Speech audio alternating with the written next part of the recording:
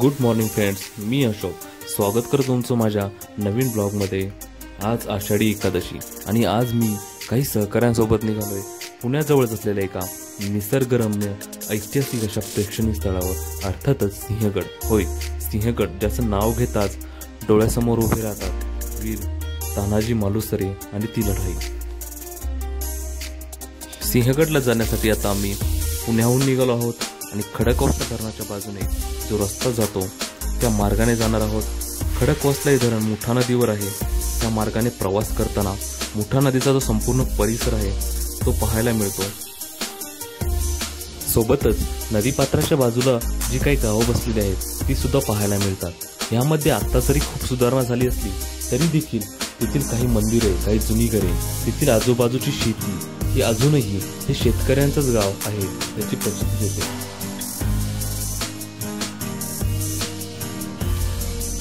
काही वेळ धरणाजवळ थांबून आम्ही तेथील जे नयनरम्य दृश्य आहे ते पाहण्यात घालवला आणि त्यानंतर आम्ही पुढच्या प्रवासाला म्हणजेच सिंहगडाच्या दिशेने निघालो. नुकताच पावसाळा सुरू झाला आहे. त्यामुळे धरणाच्या बाजूचा जो परिसर आहे तो खूपच हिरवागार दिसत आहे. तो निसर्गाचा अनमोल असा हिरवा नजारा पाहत आता आम्ही निघतो आहे सिंहगडाच्या दिशेने. नुकताच पावसाळा सुरू झालेला आहे. त्यामुळे धरणाच्या बाजूचा जो परिसर आहे तो खूपच हिरवेगार दिसत आहे. तो निसर्गाचा असा हिरवागार अनमोल नजराना पाहत आम्ही. आता निघालो आहोत सिंहगडाच्या दिशेने. खडकवासला धरणापासून जवळजवळ पंधरा किलोमीटर अंतरावरती सिंहगड आहे. सिंहगडाचा जो घाट आहे जाताना तो जिथे सुरू होतो त्याच्याच पायथ्याला हे जे एंट्री गेट आहे इथे आपल्याला जी काही एंट्री फी आहे ती पेड करायची आहे आणि पुढच्या प्रवासाला सुरुवात करायची आहे. आम्ही आता जी एंट्री फी आहे ती पेड करून पुढील प्रवासाला सुरुवात केलेली आहे. घाटामधील जी वळणं आहेत ती थोडी अवघड आहेत त्यामुळे गाडी चालवताना व्यवस्थितपणे चालवणं गरजेचं आहे. घाट चढत असताना पर्यटकांना जे आपल्याकडे आकर्षित करते असे निसर्ग सौंदर्य आणि जी ताजी स्वच्छ हवा आहे ती इथे अनुभवायला मिळते. या निसर्ग सौंदर्याचा आणि ते रिमझिम पावसाचा आनंद घेत आम्ही गडावर पोहोचलो.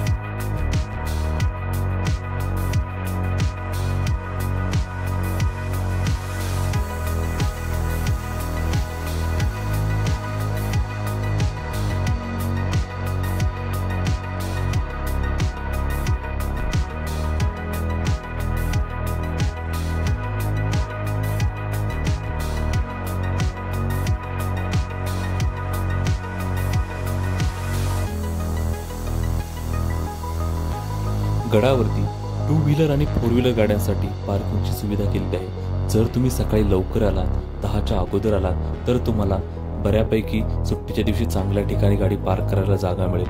परंतु तुम्ही जर दुपारी येत असाल तर गाड्यांना खूप गर्दी असते. तसेच पर्यटकही सुट्टीच्या दिवशी खूप असतात. त्यामुळे त्या दिवशी तुम्हाला पार्किंग शक्यतो भेटणार नाही.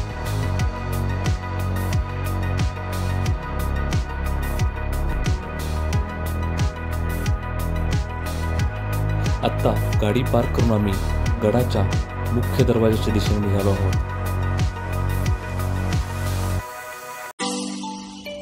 खूपच सुंदर दृश्य आहे ती. निसर्गाने माणसाला भरभरून निसर्ग सौंदर्य दिले आहे. माणसाची घेण्याची कुवत संपेल पण त्या निसर्गाचे जे देण्याचे हात आहेत ते कधीच रिकामे होणार नाहीत.